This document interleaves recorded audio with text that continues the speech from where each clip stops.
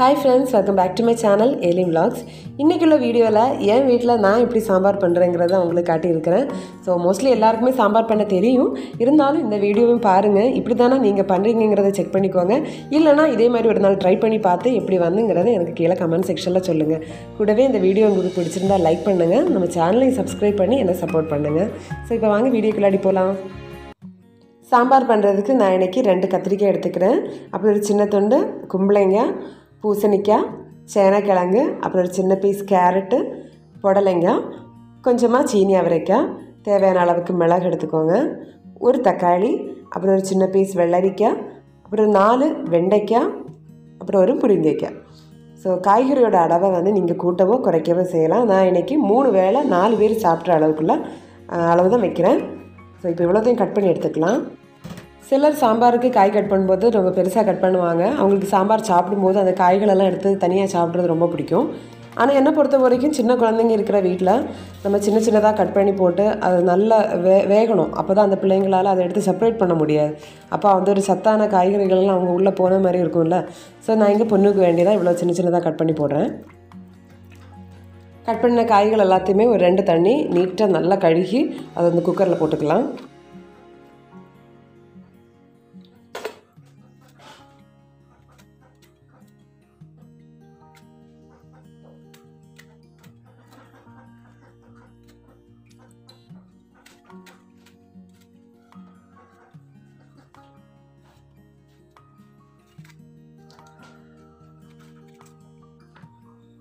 அடுத்ததாக கொஞ்சம் சின்ன வெங்காயம் சேர்த்துக்கோங்க. சின்ன வெங்காயம் தான் சாம்பாருக்கு வந்து ரொம்ப டேஸ்ட்டு கொடுக்கக்கூடியது.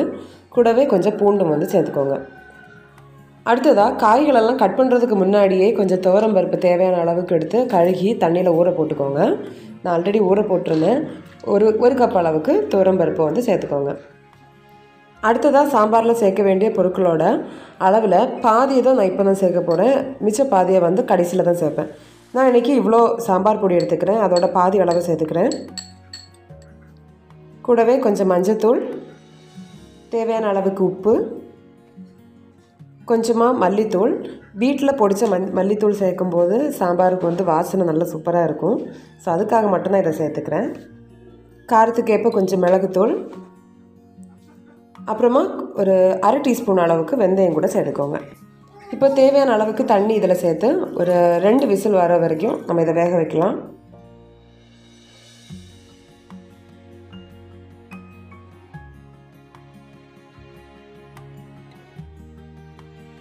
சாம்பார் வேகிற இந்த டைமில் ஒரு எலுமிச்சை பழம் அளவுக்கு புளி எடுத்து ஊற வைங்க.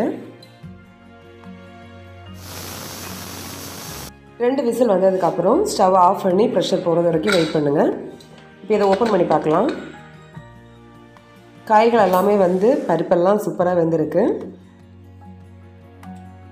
இப்போ இதில் நம்ம ஊற வச்சுருந்த புளிக்கரைசலை வந்து சேர்த்துக்கோங்க. கூடவே தேவையான அளவுக்கு உப்பு உங்கள் கன்சிஸ்டன்சிக்கு ஏற்ற மாதிரி சுடு தண்ணியும் கொஞ்சம் சேர்த்து அது திரும்ப ஒரு தடவை கொதிக்க விடுங்க. சாம்பார் நல்லா கொதித்து அது ரெடியாகி வந்ததும் நம்ம அடுத்த முக்கியமான ஒரு ப்ராசஸ் பண்ண போகிறோம் ஒரு கடாயை வந்து சூடு பண்ணிக்கோங்க. அதில் கொஞ்சமாக எண்ணெய் சேர்த்துக்கோங்க.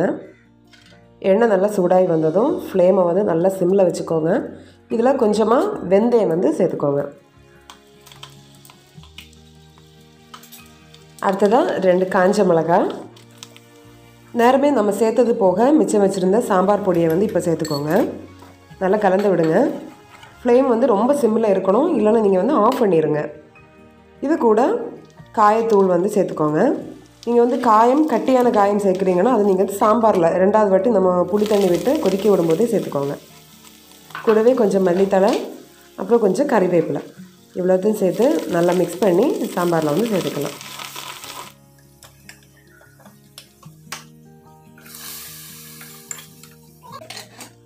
ஒரு வாட்டி நல்லா கலந்து விடுங்க. ஒவ்வொரு ஸ்டெப்பையும் மிஸ் பண்ணாமல் அப்படியே பண்ணி பாருங்கள் ஸோ பர்ஃபெக்டான சாம்பார் நமக்கு கிடைக்கும். ரொம்ப டேஸ்டியாக இருக்கும். ஸோ இந்த வீடியோ உங்களுக்கு பிடிச்சிருந்ததுன்னா மறக்காமல் லைக் பண்ணுங்கள் கூடவே உங்கள் ஃப்ரெண்ட்ஸ் அண்ட் ரிலேட்டிவ்ஸுக்கு ஷேர் பண்ணுங்கள் அப்புறம் பார்க்குறதோட விட்டு விடாமல் நீங்கள் எனக்கு கமெண்ட் செக்ஷனில் கமெண்ட் பண்ணிங்கன்னா நான் ரொம்ப சந்தோஷப்படுவேன். ஸோ இன்னொரு வீடியோவில் நான் உங்களை பார்க்குறேன். Till that bye take care